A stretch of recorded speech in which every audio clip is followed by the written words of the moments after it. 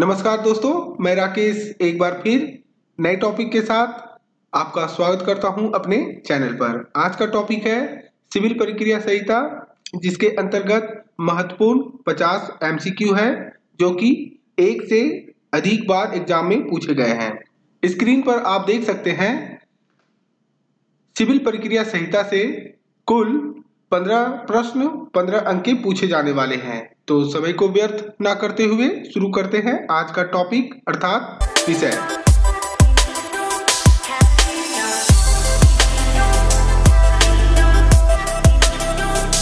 करने से पहले सिविल प्रक्रिया संहिता से संबंधित कुछ मुख्य बातें।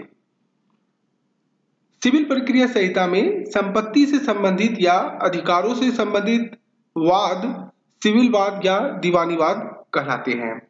दूसरे शब्दों में कहा जाए, किसी निजी या सार्वजनिक अधिकार को लेकर दो या अधिक व्यक्तियों में जो वाद शुरू होता है, उसे सिविल वाद कहते हैं।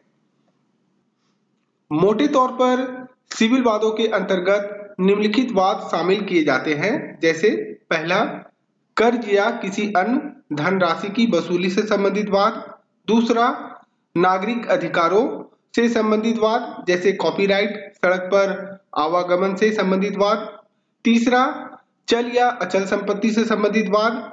चौथा, सुखाधिकार से संबंधित वाद, जैसे व्यक्तिगत नाले का उपयोग, नाली आदि से संबंधित वाद। पांचवा, मकान मालिक एवं किराएदार के बीच विवाद। छठा, पारिवारिक विवाद, जैसे वैवाहिक विवाद, भरण पोषण से संबंधित विवाद आदि। सातवां पॉइंट किसी करार या समझौता से संबंधित विवाद। आठवां, साझेदारी फर्म या लेखा जोखे से संबंधित वाद।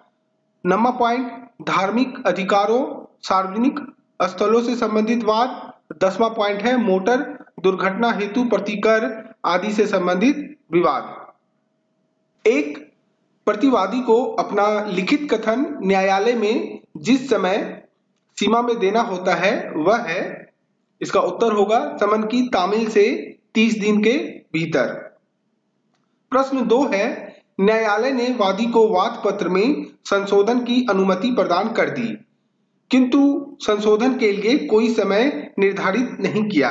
वादी को संशोधन कितने समय में कर देना चाहिए? तो इसका उत्तर होगा प्रश्न तीन है वाद पत्र लौटाए जाने के अधीन है जब इसका उत्तर होगा वाद पत्र क्षेत्राधिकार ना रखने वाले न्यायालय में दाखिल किया गया है। प्रश्न चार है, निम्नलिखित में से कौन अभिवचन का नियम नहीं है? तो इसका उत्तर होगा बी, विधि का कथन करने और तथ्यों का अभिवचन करे।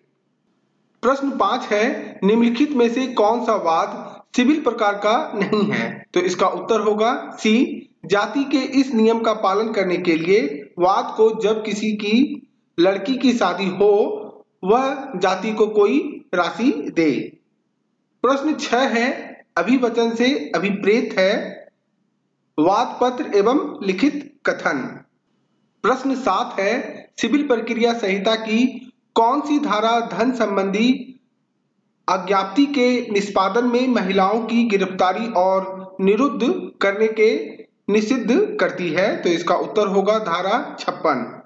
प्रश्न आठ है, सिविल प्रक्रिया संहिता की निम्नांकित में से किस धारा में वादों को संस्थित करने का उपबंध है? तो इसका उत्तर होगा धारा 26 प्रश्न नौ, सिविल प्रक्रिया संहिता की निम्नलिखित में से कौन सी धारा कतिपय स्त्रियों को न्यायालय में स्वयं उप स्वजातीय से छूट प्रावधानित करती है? तो इसका उत्तर होगा धारा 132 प्रश्न 10 है जहाँ सुनवाई की समाप्ति होने के पश्चात एक निर्णय सुनाने के बीच किसी पक्षकार की मृत्यु हो जाती है, वहाँ इसका उत्तर होगा, वाद का उपशमन नहीं होगा। प्रश्न 11 सिविल प्रक्रिया संहिता की धारा टूट सत्रह के अंतर्गत निम्नलिखित में से कौन लोक अधिकारी नहीं है? तो यहाँ पे इसका उत्तर होगा ग्राम पंचायत का सरपंच। प्रश्न 12 कहता है साक्ष्यों की न्यायालय में उपस्थिति के लिए उनके नाम समन प्राप्त करने के लिए पक्षकारों द्वारा साक्षियों की सूची प्रस्तुत करने हेतु कोई न्यायालय जो तारीख नीत करेगी वह विविधकों का निपटारा कर दिए जाने से कितना दिन पहले? तो पंद्रह दिवस होगा इसका आंसर। है कोई बात खारिज किया जा सकता है। अगर प्रतिवादी के नाम निकाले गए समन के तामील के बिना लौटाए जाने के पश्चात उस तारीख से है कोई एक माह का समय। विदेशी राज्य पर वाद ला सकता है तो इसका उत्तर होगा केवल केंद्र सरकार की सहमति से। पंद्रह है सिविल प्रक्रिया संहिता की निम्नांकित में से किस धारा में अंतर भिवाची वाद के लिए उपबंध है तो इसका उत्तर होगा धारा अठासी। प्रश्न 16 है, एक डिग्री हो सकती है, इसका उत्तर होगा प्रारंभिक या अंतिम कोई भी। प्रश्न 17 है, डिग्री के निष्पादन में निम्नलिखित में से कौन सी संपत्ति, कुर्की और विक्रय के लिए दायी नहीं है? तो इसका उत्तर होगा, निजी गहने, जिसे कोई स्त्री अलग नहीं कर सकती है। प्रश्न 18 है, निम्नांकित में से कौन सी संपत्ति डिग्री के निष्पादन में कुर्क और विक्रय की जा सकती है? तो इसका उत्तर होगा, वचन पत्र। प्रश्न उन्नीस है, दीवानी प्रक्रिया संहिता की धारा 16 के अंतर्गत अचल संपत्ति से संबंधित वाद दायर किया जा सकता है एक ऐसे न्यायालय में जिसके स्थानीय क्षेत्राधिकार के अंतर्गत इसका उत्तर होगा, संपत्ति स्थित है। प्रश्न 20 है, सिविल प्रक्रिया संहिता की धारा 115 निम्न के बारे में प्रावधान करती है, इसका उत्तर होगा पुनि रक्षण प्रश्न 21 है, निम्न मामले में न्यायालय कमीशन जारी नहीं कर सकता तो इसका उत्तर होगा डिग्री के निष्पादन हेतु। प्रश्न 22 है सिविल प्रक्रिया संहिता की धारा 91 के अधीन लोक उपताप के लिए वाद कौन ला सकता है? तो इसका उत्तर होगा वहाँ तेईस है सिविल प्रक्रिया संहिता की धारा 100 के अंतर्गत द्वितीय अपील कहाँ दायर की जाएगी? तो इसका उत्तर होगा उच्च न्यायालय में। प्रश्न 24 है किसी ऐसे वाद में जो व्यक्ति क्रम के कारण खारिज कर दिया जाता है। निर्णय के पूर्व की कुर्की इसका उत्तर होगा मात्र इस कारण पुनः परिवर्तनीय नहीं होगी कि व्यक्ति क्रम के कारण वाद खारिज करके आदेश अप्रास्त कर दिया गया है। पच्चीस है।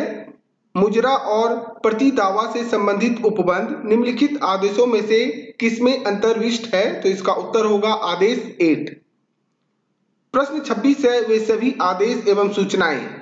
जिनकी तामील इस संहिता के अधीन किए किसी व्यक्ति पर की जाए या जो उसे दी जाए लिखित रूप में होगी। ऐसा प्रावधान दीवानी प्रक्रिया संहिता की किस धारा में दिया गया है? तो इसका उत्तर होगा एक कैबिनेट। काफ़ी इंपोर्टेंट है। वीबीआई है एग्ज़ाम के पॉइंट ऑफ़ व्यू से। इसका उत्तर 90 दिन होगा। कैबिनेट 90 दिन के अवसान के पश्चात प्रवृत्ति नहीं रहेगा।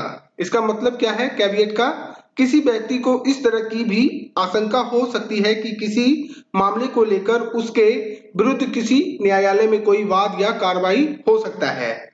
ऐसी अवस्था में उस व्यक्ति के पास एक मार्ग तो यह है कि आशंका में जीते हुए उसे सच या मिथ्या होने की प्रतीक्षा करे या फिर अदालत में खुद व्यवहार प्रक्रिया संहिता की धारा 148 ओ के अंतर्गत आवेदन प्रस्तुत करे। इस आवेदन को कैवियट कहा जाता है। काफ़ी इंपोर्टेंट पॉइंट है। प्रश्न अट्ठाईस है। निम्नांकित में से कौन अपीलीय न्यायालय की शक्तियों में सम्मिलित नहीं है? तो इसका उत्तर होगा वाद का नए सिरे से विचारण प्रश्न उन्तीस है सिविल प्रक्रिया संहिता के निम्नांकित में से किस उपबंध में अंतकालीन लाभ को परिभाषित किया गया है? तो इसका उत्तर होगा धारा दो बारह के अंतर्गत। कलेक्टर दीवानी प्रक्रिया संहिता के किस प्रावधान के अंतर्गत प्रापक रिसीवर नियुक्त हो सकता है तो इसका उत्तर होगा आदेश 40 नियम पाँच के अनुसार। प्रश्न 31 है, प्रापक रिसीवर होता है, इसका उत्तर होगा न्यायालय का अधिकारी। बत्तीस, जहाँ कोई अस्थायी आदेश एक पक्ष हो, विरुद्ध पक्षकार को सुसूचित किए बिना पारित किया जाता है, वहाँ न्यायालय एक पक्ष आदेश की तिथि से किस अवधि के अंदर आदेश के आवेदन को निपटाने का प्रयास करेगा। तो इसका उत्तर होगा तीस दिन। प्रश्न तैतीस है, सही क्रम बताइए। तो इसका उत्तर होगा, व्यवहार प्रक्रिया के अंतर्गत जहाँ सुनवाई की समाप्ति के पश्चात तथा निर्णय सुनाए जाने से पहले किसी पक्षकार की मृत्यु हो जाती है, वहाँ इसका उत्तर होगा, वाद का अपसमन नहीं होगा। प्रश्न चौतीस, किसी न्यायालय द्वारा पारित निर्णय का पुनर्वालोकन रिव्यू किया जा सकता है। इसका उत्तर होगा उस न्यायालय द्वारा जिसने निर्णय पारित किया था। प्रश्न 35 है, निम्नलिखित कथनों में से कौन सा एक कथन सही है? तो यहाँ पर निर्णय पूर्व बंदी बनाने का आदेश निम्न प्रकार के वादों में किया जा सकता है। तो इसका उत्तर होगा वचन पद पर आधारित वाद। प्रश्न 36 निम्नांकित में से किस रीत के मामले में प्राण न्याय का सिद्धांत लागू नहीं होता? तो इसका उत्तर होगा बंदी प्रत्यक्षीकरण के में लागू नहीं होता। प्रश्न सैतीस सिविल प्रक्रिया संहिता के किस उपबंध के अधीन अस्थायी न्यायाधीश दिए जाते हैं? तो इसका उत्तर होगा आदेश उनचालीस नियम एक में। यदि कोई समझौता जिस पर डिग्री आधारित है विधि पूर्ण नहीं था इसका उत्तर होगा डिग्री को उपरास्त करने के लिए वाद नहीं लाया जा सकेगा। प्रश्न उनचालीस है अस्थायी निषेधाज्ञा जारी की जा सकती है? इसका उत्तर होगा संपत्ति से बेदखली प्रश्न चालीस है किसी प्रावधान के अंतर्गत ओ किचनई वाद प्रस्तुत कर सकता है? इसका उत्तर होगा आदेश तैतीस नियम एक। प्रश्न इकतालीस है पूर्व न्यास का सिद्धांत।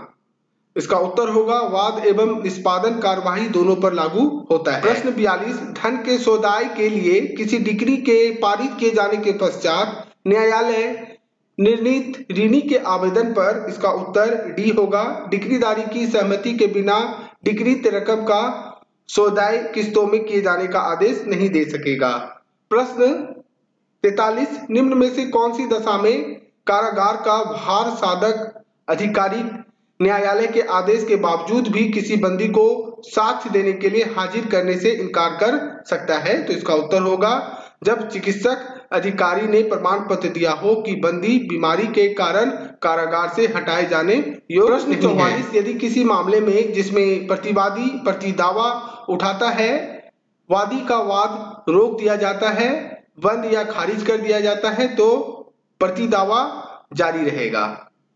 प्रश्न 45 है सिविल प्रक्रिया संहिता के आदेश 8 नियम 6 के अधीन मुजरा कब अनुमय है तो इसका उत्तर होगा जब प्रतिवादी द्वारा जिस धनराशि का मुजरा चाहा गया है, वह अभी निश्चित है। छियालीस है सिविल प्रक्रिया संहिता के निम्नलिखित किस आदेश में निर्णय और डिग्री के बारे में बता दिया गया है तो इसका उत्तर है आदेश 20 के अंतर्गत। प्रश्न सैतालीस है, पर्याप्त हेतुक दर्शित करने पर न्यायालय वाद की सुनवाई को पक्षकारों के निवेदन पर कितनी बार से अधिक स्थगित नहीं करेगा तो इसका उत्तर होगा अड़तालीस। जहाँ वाद पत्र नामंजूर कर दिया गया है वहाँ वादी उसी वाद हेतु पर नया वाद प्रस्तुत कर सकता है। प्रश्न उनचास।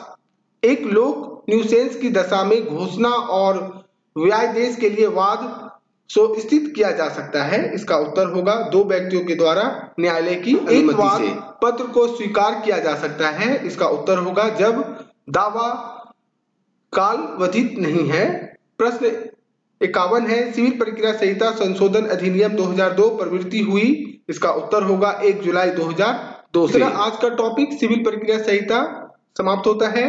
आशा करता हूँ मेरे द्वारा की गई छोटा सा प्रयास आप सभी को पसंद आया हो। यदि पसंद आए तो जुड़े रहें law and banking with Rakesh के साथ।